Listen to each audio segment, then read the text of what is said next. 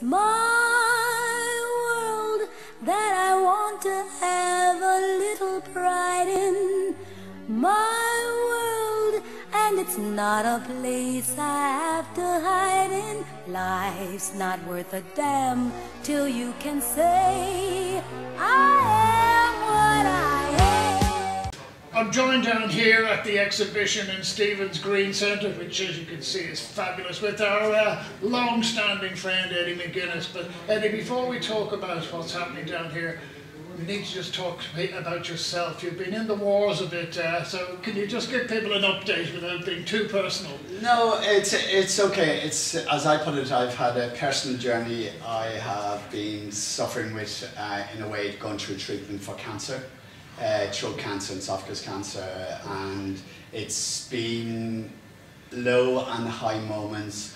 But most importantly, it has been the love of our own LGBT plus community and family, and especially my husband, has actually got me through it. Uh, because I would, many a stage for oh, near two months I couldn't even speak, talk. A lot of people said that could be a, a blessing in disguise, uh, my Dundalk accent, but I, I think the Dundalk accent has come back a wee bit. But again, like anything else, it has been uh, uh, not only dealing with COVID over the last in there, we're going on near two years or whatever, but then to get cancer on top of that has been really, yes. Well, it's, uh, it, it seems like tragedy has befallen you because the last time you and I were at a, an opening of a Pride uh, um, uh, festival was 2019 down in the GPO and that was the anniversary of your mother, I think, as well. So yeah, unfortunately, yeah. The, actually this weekend uh, my mum would be three years passed away. Mm -hmm. uh, and in a way, uh, she, she and my two nephews have given me that spiritual uh, love and strength. And also my other friends uh, and I'm not afraid Derek, uh, Taximan Derek, like most people would remember and uh, Sean Meehan. Have all been there in the background and others who have given me that spiritual strength because I, I very much I, I know that I have my spiritual love as well uh, out there. Well, uh, I only discovered, uh, as a lot of people did on social media, because we can't catch up with each other, and I thought, oh, this is this is tragic. But looking at you now, and I've seen people who've had throat cancer over the last couple of years, you're as good as they are. Uh, so what, what, the spirit is still very strong there, The spirit has been the spirit of everyone else around me, as I saying.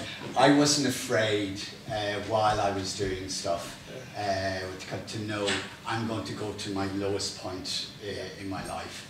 Uh, and at the same time, but I knew that the strength of everyone around, especially my husband, because I knew I had to lean on him for to get me through it. And everyone else supported him and gave him the leg up. And John, I can't say enough, I love him so much.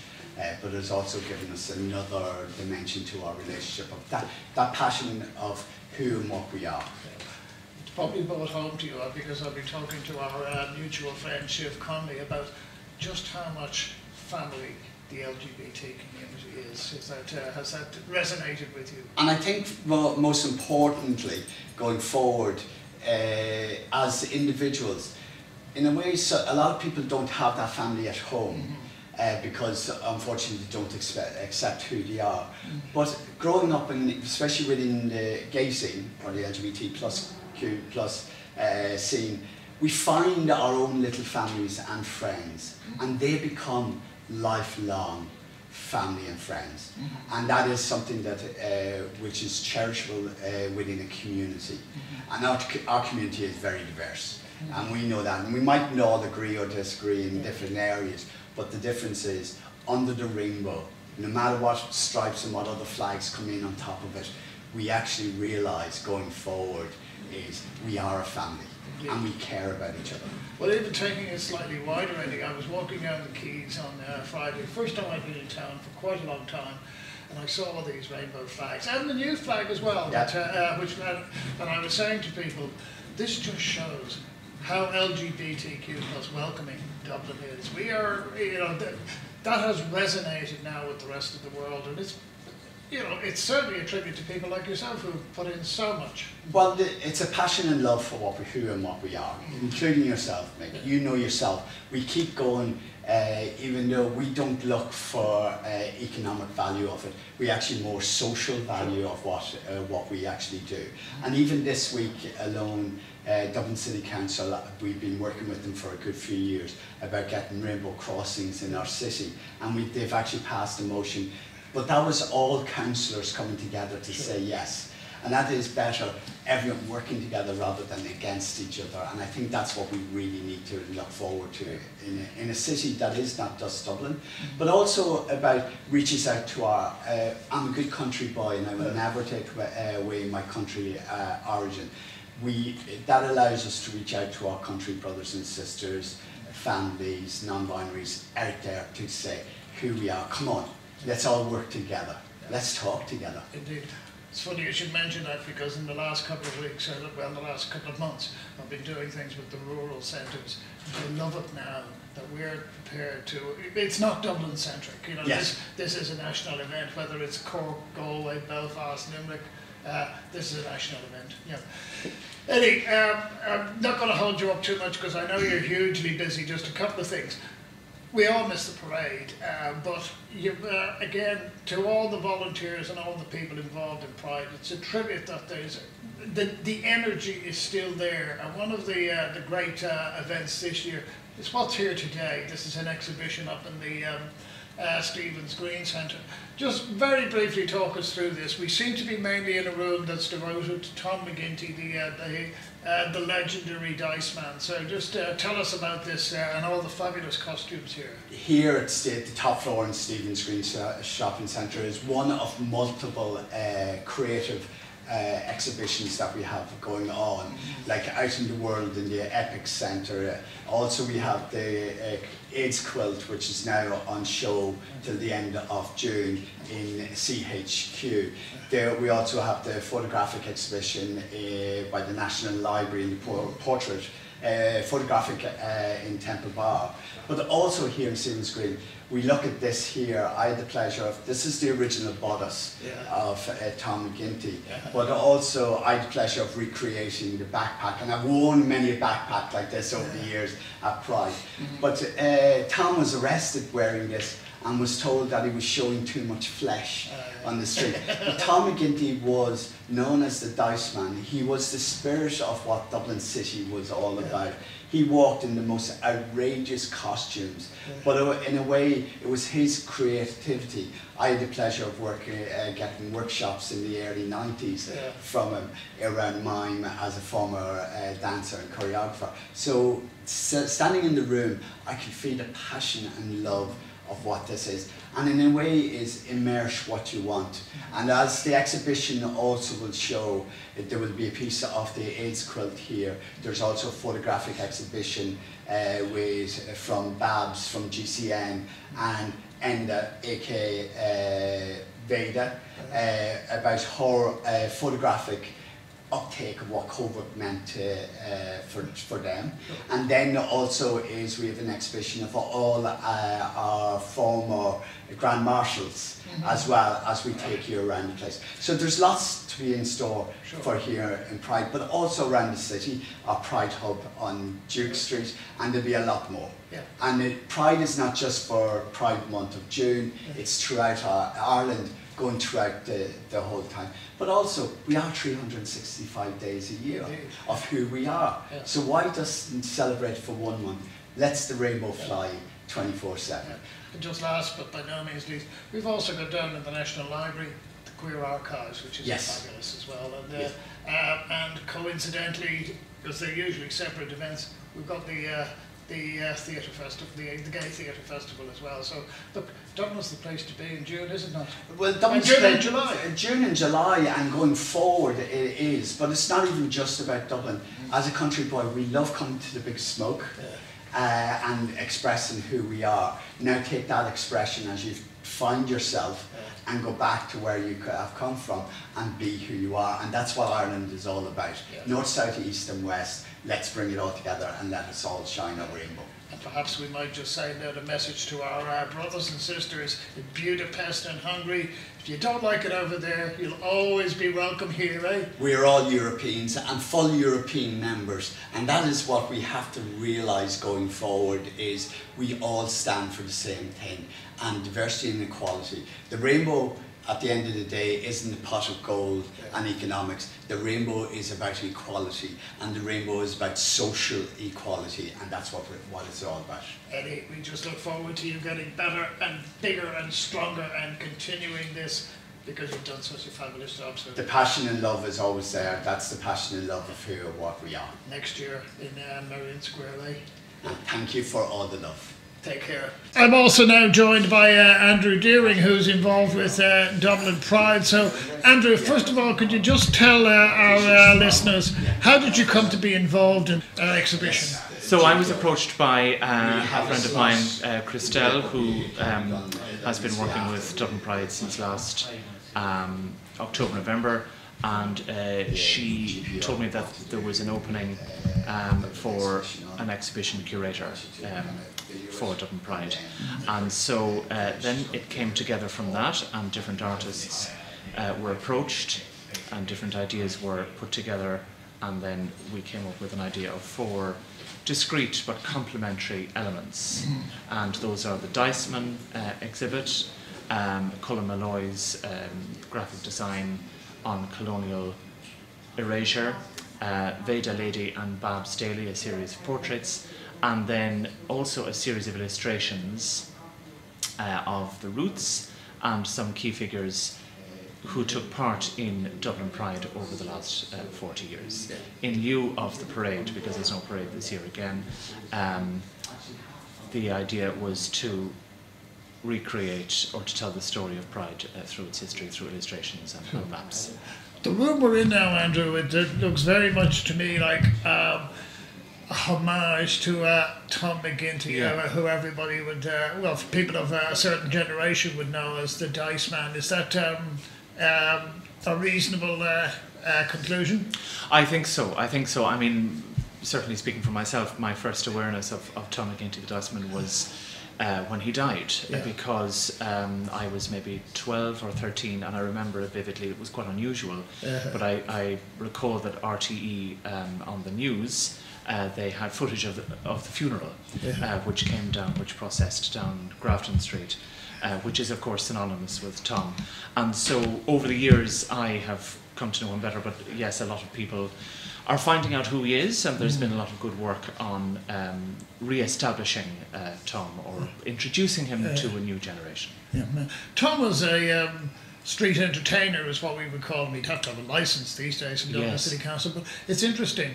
I don't know, while we have various people doing, you know, various, um, shall we say, living statues and things like that, mm. I, I don't know anybody else since Tom McGinty or since the yeah. Dice Man who's performed an equivalent act, and I sus- uh, um, it's, a, it's a bit of a loss really for Dublin, isn't it?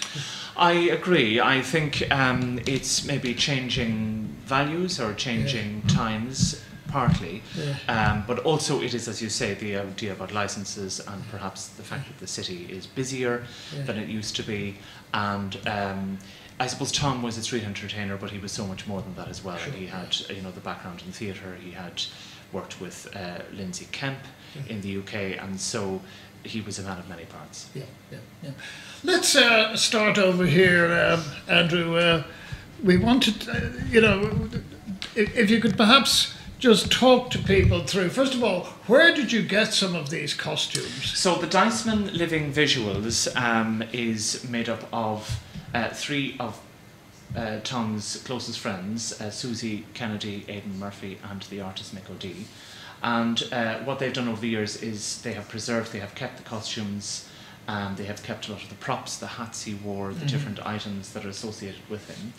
And so um, that is the source of the material. And then we're also quite fortunate in the sense that last year the Little Museum of Dublin, in collaboration with the Diceman Living Visuals, staged an exhibition. And we're very grateful to the museum because they have uh, it has lent us some of the materials sure. from last year's exhibition. But the actual costumes um, are um, kept by Aidan, Um, this cape here uh, was part of a costume that Tom wore. I'm not quite sure what it advertised, um, but I can tell you that this one here, the basque and um, the feathers, this uh, was promotional material for a live production of the Rocky Horror Picture Show Okay. um, in the early 1990s, and this was quite controversial uh, because if you see here behind you get a, a, an image of the reverse of the costume uh, because Tom wore the basque and then his bottom half was a thong and then fishnet tights and high heeled shoes. So in fact he was arrested uh, for this for uh, offences As, as a stage for doing a stage production, or was he? Uh, no, was no. this- was this so in the street? um, uh, he was he was processing up and down Grafton Street dressed um, in this way, uh, but he was promoting the live show Sure. of, of the Rocky Horror Picture Show, and so um, he was arrested for offences to public decency, and he famously said. Uh, once he was arrested, well, I'm in my working clothes. That was his uh, rebuttal. So fair and technically true, uh, but it cut no dice. Yeah. Can we have a look at the one behind you? Because Yes. it looks, uh, it's a strange one in one sense because it doesn't look a million miles from what you would see if you went to Morocco, taking Yeah. away the uh, the Star of David. So what's that? Uh, what's the story behind that one, Andrew? Uh, this one was also um, something that he walked uh, down the street in, and again, I'm not sure what it advertised. Yeah. Uh, but a lot of his costumes were made by two people, uh, Kathy Kavanagh and Aidan Bradley, and so they would have. Um, have had access to what Tom was Yeah. was was going for, but in in the main, a lot of these costumes. there's quite a mystical quality It about does, it, it doesn't it? absolutely does, yeah. And they were designed for a particular um, shop or premises or Yeah. business. Let's have a look at the one over here because Yeah. uh, this is not a million miles away from uh, a shirt I have, uh, Andrew. So if you could perhaps stand over beside Yes, it of course, yeah. And I tell you, the shirt that I've got is a Versace, um, Right. and the colours there could almost be taken from it. So uh, somebody had a great eye for colour, and so uh, clearly, um, Yeah. Well, this one we're kind of cheating because this is actually two separate ones that we put together. Yeah. Uh, the costume itself is, as you can see, a jester costume. So again, this was something Yeah. uh, that was designed for him. And then the balloon structure. So as you can see, it was worn on straps on the shoulder, and with this went a stovepipe hat, Yeah. A very tall top hat. And this was again advertising um, a, a balloon fair or Sure, a circus. yeah. He was he was a great stylist, was Tom, Well, wasn't this he? is it. it. It was um, the costumes were one thing, but it was the whole package. It was everything that went with it, and the makeup in a lot of cases as well. It, it really told a story. Sure, yeah. Now we have a. Uh, uh, I'd almost call it a smock to a certain degree. Uh, uh, Yeah. uh, it's, a, it's I- I'm colourblind, but it looks like red and yellow to me. It is- it is And, geometric and it's got shapes, yeah. some geometric patterns. Squares, circles, triangles. Yeah, another idea uh, from the costume designer with Tom, and um, designed again to Yeah. to parade around it. Yeah. Sure. What time are we talking about? Because these seem to be timeless in the sense that they're Yeah. you could wear them now and they would look very up to uh, up to the mark. Well, it's true. Well, Tom was originally from Scotland, from a place called Glenboig in Scotland, and he came to Ireland in the 1970s. And um, he initially started out in um, theatre. So, as I said, he trained with Lindsay Kemp. He trained in mime artistry, and um, that where that is where a lot of his movement training uh, kicked in because when he started uh, on Grafton Street or when he started advertising things, there was a bylaw um, in Dublin City Council at the time is that one couldn't remain stationary Yeah. because then you attracted crowds and it was a hazard. And so that's why he started to move very slowly. You'd have to walk him, watch him like a hawk. And so that's where these kind of costumes came into their own because they were very colourful. Um, some of them were, let's say, safer than others because, for example, when he was in the Basque, that obviously would um, attract a lot of attention. Sure. And sometimes he would have things thrown at him, he would be pinched in the bottom or other parts of the body. Yeah. And that's where Aidan Murphy, uh, who is uh, in the Diceman uh, Living Visuals Collective, he then became his minder and Okay. looked after him. So he would be able to wear things like this in peace. Yeah. We should point out that somebody else who trained with Lindsay Kemp, well, apart from the great Leigh Bowery, was Yeah. David Bowie. And uh, there's a very Bowie-esque Yes, quality about yes, these that's a costumes, ver- is there That's a very good point. It's a definite trajectory of, um, you know, using stillness and using what he called, I think he called it the imaginary being or the imagining. So those two elements uh, he did very well. And of course, his training when he came to Ireland in the 70s, he, he had a theatre company for a while, and so he had that background as well. He was also in a production of Salome at the Gate Theatre Mhm. um, in the late 1980s, 88, I think. And so um, in that, he, that was a completely wordless performance, which mirrored Yeah. uh, his work in the public domain because he rarely, if ever, uh, spoke. And in fact, it was um, his facial expressions which were Well, Lindsay Kemp the was winks. primarily a mime artist, was he not? Yeah, yeah, Precisely. Yeah, yeah. Exactly. Can I have a look at the one behind you now, Yes. Andrew, which is again, Yeah. uh, it's almost like a sculptor in fabric, isn't It it? is, it is, it is. So this is a very much an uh, oriental, um, eastern feel to it. I think, in fact, it may have had at some point the letter letters Japan written on either circle here.